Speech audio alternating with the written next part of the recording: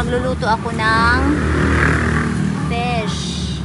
Fish. Fresh baby. So, mag-harvest na tayo dito ng petsa. Yay! Ba?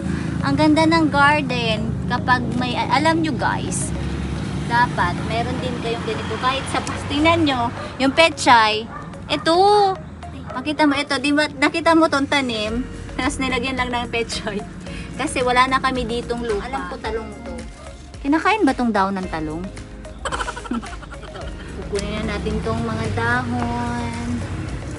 Yan, masarap itong ulamin ngayon with my fish na may aligi. Try natin magluto ng fish na may aligi. Yung isda, galing yun San Miguel. Shoutout kay Marian. Shoutout kay Marian tsaka kay Mike. Thank you sa fish na pinadala nyo from San Miguel Island. So, ito na yung nakuha natin. Kukuha pa ako ng marami. Marami pa ba?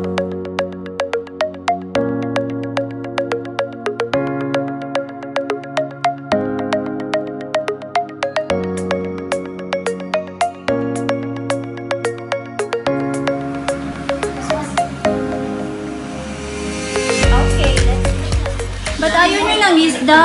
Nakakainis kayo. Arabo nyo na magkaraon kisira. Let's eat na, Chelsea. Ah, ang init. Asawa ng sira. Ang init. Kami naman na. Tinasa nasira. Grabe, fish is healthy and this is the petchay. Na petchay is natanim natin. Let's taste it. Mmm! Oh my God! Ang sarap! May aligi ito.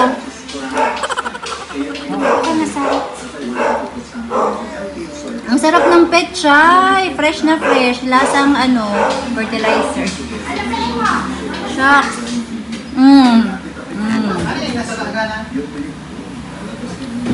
Thank you, Marian, dito sa fish. Super, super laki. Grabe. From San Miguel Island. Fresh na fresh. Anong gusto mo? Ito. Meron na. Yan na, oh. Ano ah? Chelsea, my God. Grabe ang luto ni Mami. Aray ko, ang init. Init mo sa kainin. Nahaw, mainit. Aga pa. Mahado na.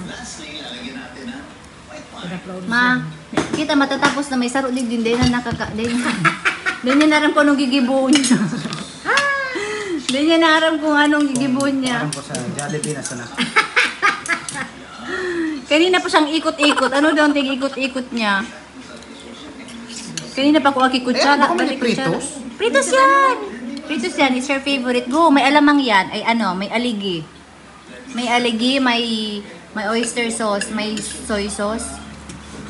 I have Oh my God. Sarap. Pwede na? Pang resto. Pwede na? Pwede lang? Tapos yung petchay, yung ito yung tanim natin. You taste our tanim. Naking na rin eh. Fertilize? Mhm. Mm. Mm, lasang fresh. Lasang lamig. Go. Ay, mother. Sarap. Orderan ta ka na lang na cook. May Jollibee man. Hoy, gusto namin na sila, no? May hindi mo ugmo sa sira. Giant fish ito, giant fish. Ano yun? Sabi na tita, para daw siya nahila sa isdang nililuto mo. Kasi, hindi siya sanay. Ano sabi sa isda? Kaya, stress daw siya, magpapahinga daw siya. Ah, bakit ano? Saan siya sanay? Sa chicken nuggets? Saan siya sanay? Sa chicken nuggets? Chicken? Nahiblad ka sa sira? Kayong dalawa, wala kayong alam sa isda. Puro kayo chicken. Dapat daw, marunong daw ang manok ma mali maglangoy sa tubig. Bakit? Para seafood. Para dagat. may, da- may tanong ako. Bakit? Bakit ang nanay ng pagong proud sa kanyang anak? Ang bagong. Turtle. Kasi pagod na pagod na siya.